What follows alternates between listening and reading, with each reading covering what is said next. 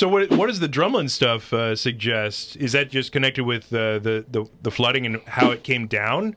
Okay, so drumlins basically what you have when the glaciers come across the landscape, they basically pulverize the landscape, Right. creating this this stuff that's called glacial till, Right. which in the old days was called drift right. because it was associated with flowing water. Well, so you have glacial till, which is this ground up landscape. Um, it's it's you know gravel and rocks and sand and silt, and it's just a, might be organic material. It's all all mingled together chaotically. There's no structure to it, um, which differentiate differentiates it from water laid material, which will usually have a discernible structure.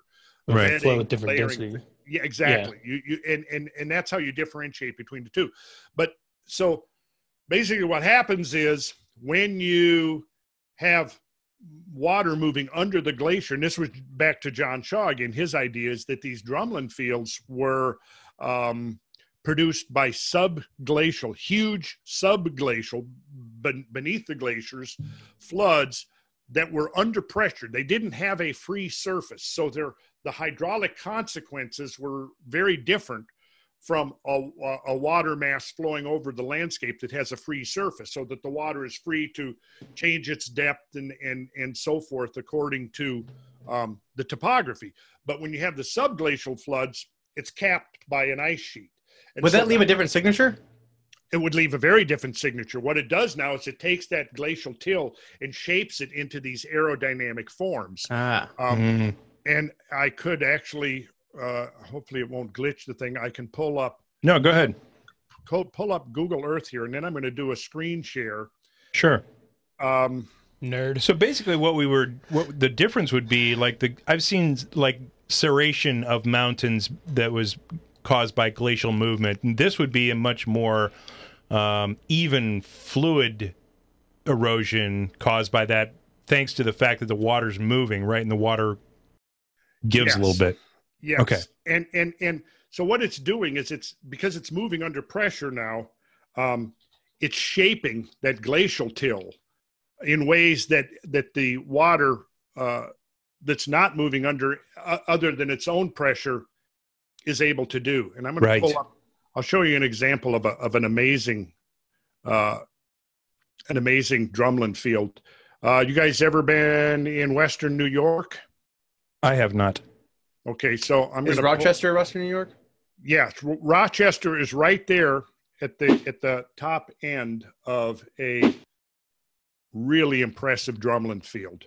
And let's see here. So I'm going to first of all I'm going to pull out here. I'm, I've got Google Maps. Now I'm going to go to open this up and go to screen share, and hopefully this will work. Let me know when you see the maps. Yahtzee.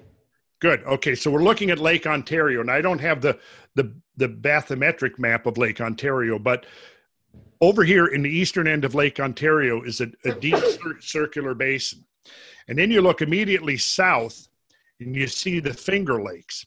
And what's interesting about the Finger Lakes is um, you've got they're basically radial.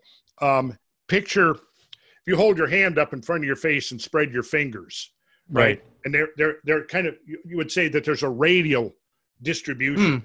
If you look at the Finger Lakes and you follow the axes of these Finger Lakes, what you'll see is they all converge on this deep basin that's on uh, eastern Ontario. Right. Now, the north end of the Finger Lakes, and I'm going to draw my cursor right across here. You see the town of Geneva, Seneca Falls, Auburn. Mhm. Okay, that represents the southern margin of the ice sheet right there. So the Finger Lakes were just outside the glacier. When you're north of there, you're under the ice, right? Now what I'm going to do is I'm going to zoom in and you could you'll be able to see the the drumlin fields. Let's go on in here. Hopefully we will get enough. Ah, here we go. Check. See, these are all. Can you see these? Yeah. Yeah, it's crazy. Yeah, it's crazy. They- They're like inverted boat hulls. They almost look like if you turned a canoe upside down. Right. And why is a boat hull shaped as it is? Because it's trying to minimize the frictional drag as the, the boat moves through the water.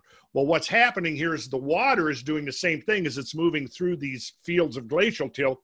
It's shaping, when it comes to irregularities within the glacial till, what it does is tries to shape them to into the form that will provide the least frictional resistance to the to the movement of the water.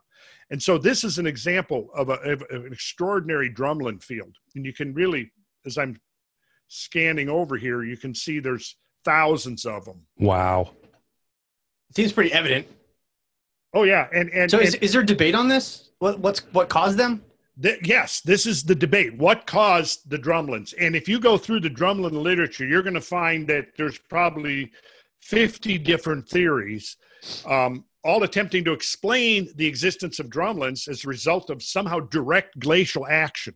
Hmm. And it was John Shaw who came along in the 80s and, and proposed this idea of subglacial floods and said, look, for a lot of technical reasons we could get into, but it would probably take us far afield.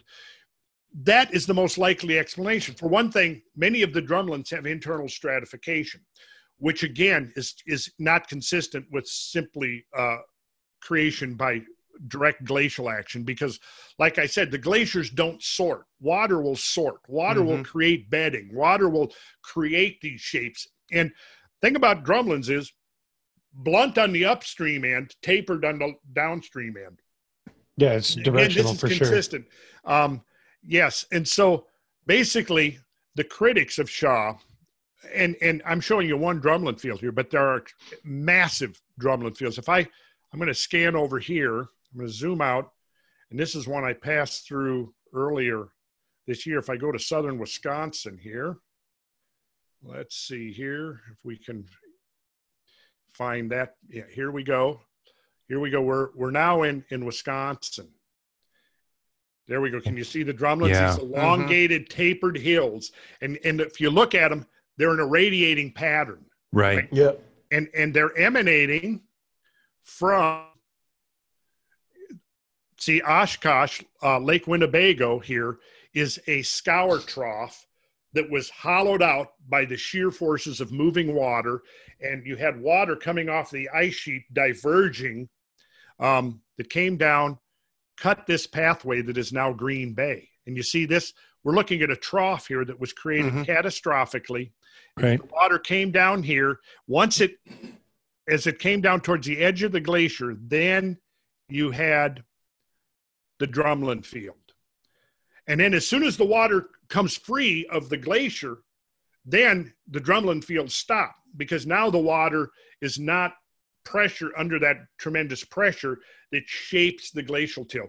Now, the critics of John Shaw said that the drumlin fields are so vast that you can't provide an explanation for how you would get that much water beneath the glaciers. That's Right. that's the essence of the of the criticism. Isn't that a, isn't that a straw man argument though? That's like saying Yeah, it's a hey, logical there's there's a yeah. Well, it's like saying hey, there's a there's a giant ball of gas in the sky called the sun. It's like well, if you can't prove how it was formed, fuck you. Yeah, It's like no, no, no. I'm not here to sh- show you creation of existence. I'm showing you the evidence of what's what's going on right now. Total logical it, sa- it sounds like a, a actual Yeah. cognitive fallacy. It sounds Yeah. like the, the, a straw a straw man argument. Mhm.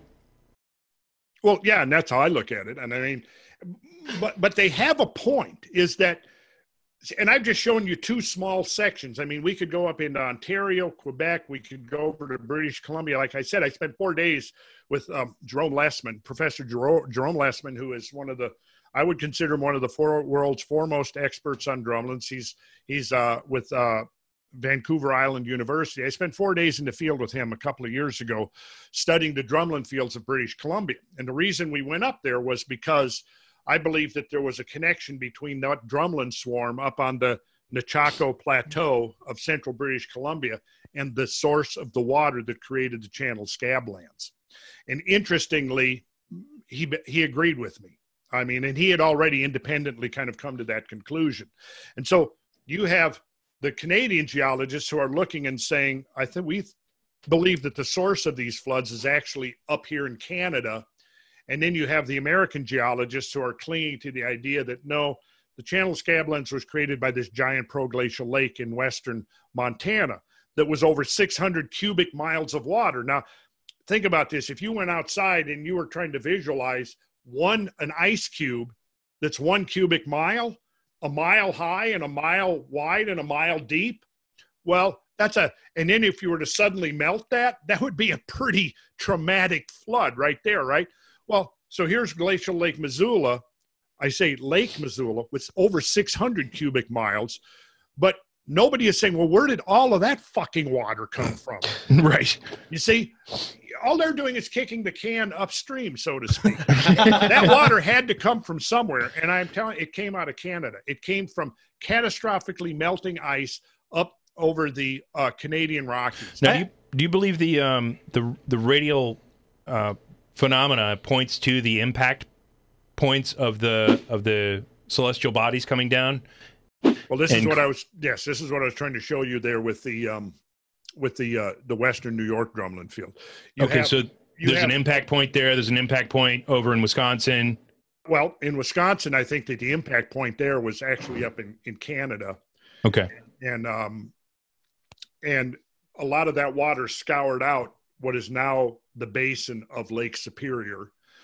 Other another channel of that meltwater scoured out what is now the basin of Lake Michigan. Okay. And you had you had catastrophic floods emanating from from both of those ice lobes. Okay. Um, so uh, sorry, I'm really hung up on the counter argument here. You know, I, I've seen gunshot wounds. Not once did I have to prove that it came from a gun. you know what I mean? Like what's like it's like, oh no, that's not a gunshot wound unless you show me the gun, the person who shot it. It's like, no, no, no. We're gonna deal with the issue. We're gonna look at this, the evidence here, and we're gonna move forward. You I don't, cut, under, I don't understand. cut yourself with your knife again. I don't, I don't understand the argument. It's, it's not intelligent. I agree. I agree. And and once you've you've looked at this stuff for a long time, you know, and and you know you go through all the the alternative ideas and one by one when you really critically examine them they they basically fall apart. And what you're left with is we've got to look at something extraordinary here. That's the only way we can explain this. And the evidence now is is you know again part of the problem is nobody really looked for it uh, mm-hmm. up, up until you know the last decade or two. And once they started looking for it, then they begin to discover, yeah, my gosh, look, here's this black mat layer. And below that, we find abundant megafauna. And above it, we find almost no megafauna. Below it, we find the Clovis people. Above it, no Clovis people. They've disappeared, right? And, and, nobody had really taken a good look at that because maybe we just didn't have the the the resolution to to discern what's going mm. on but once they begin to take a look at it, that's when they begin to discover the fingerprints of, of a cosmic event. And which goes totally against the grain of the gradualist dogmas that now still are entrenched in academia, academic models of Earth history.